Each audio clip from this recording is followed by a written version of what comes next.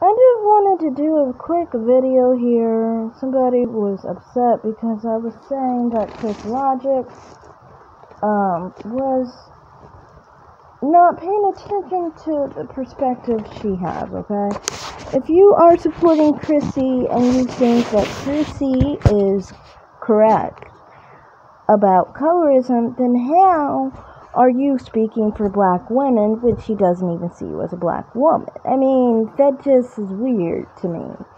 Um, but yeah, that didn't mean I was upset at Chris Logic or anything of that nature. I've made videos on her before. I've never had a sense of being angry at her. Some of my content, um, some people have brought her up and stuff. I have no issue with her. You know, if she wants to talk about whatever she wants to talk about, that's on her. Now, as far as Jessica X, I don't have any jealousy towards her, obviously. I just showed her photo.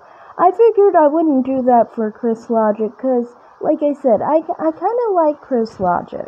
So that's why I'm not showing her photo or anything of that nature. That would just be kind of rude um, to do that. So, my point is, in doing this video is, um, of course I'm not jealous of Jessica X. She, on a good day, is a 7. So, I mean, like, I don't really have anything to be jealous of that for. Personally, for me, I wake up and I'm an 8.6, so I'm pretty much good to go. Um, so, I mean, like, as far as that goes, you know, I have no jealousy towards her. Um, as far as what I was saying in the video, oh yeah, I did say something about her being promiscuous, but I was specifically talking about standards that were given, basically. I mean, you have to understand from my perspective, when I was Jessica X's age, I was literally a virgin. So, I mean, like, from my perspective, I can see certain people as more promiscuous because, you know, if you're having sex while in college, I kind of see you differently. Um, so that, I mean, that's just my, that's just my level of understanding, like, for what I think, you know, as far as the decisions I've made in my life, you know. Um, but if she's happy with the choices she's made and, you know, who she's had sex with, that's her choice.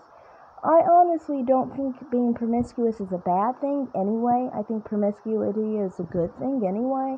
So, I mean, like, me saying that kind of just is like saying, like, someone's wearing a red shirt. I'm not saying it like red shirts are bad. I'm not saying it like blue shirts are bad. I'm saying it like someone is what they are, basically. So, no, I don't have any hate on either individual. I don't have any jealousy towards either of those individuals. I watched both of their channels at one time or another.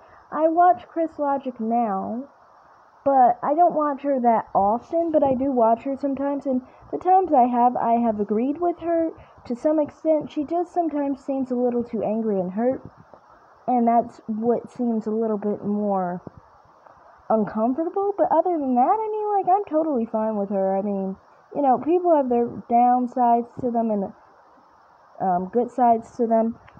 I just, you know, watch what I like and what I don't like, you know, you spit out the bone, basically. You know. So, that's all I have to say here. Um, that's all, I guess. Thanks for watching and bye.